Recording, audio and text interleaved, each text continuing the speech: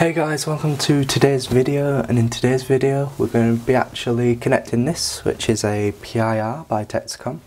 It's the Pet W uh, Premier League Compact PIR.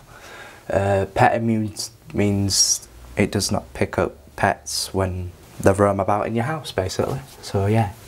So I've already screwed it to the wall and connected the wires up in my order um, as you can see, it's a dead tamper because we need to go connect it in the control panel. So yeah, let's go do that.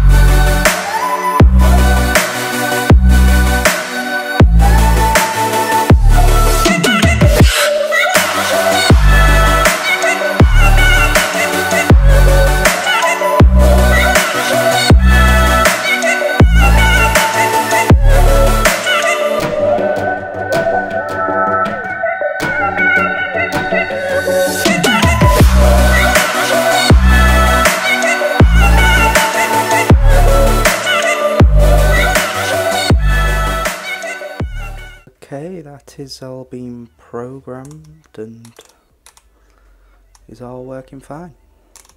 So up here we have a brand new PIR. As you can see, I've got to put the screw in. That's uh, over there. I need to go and put that in.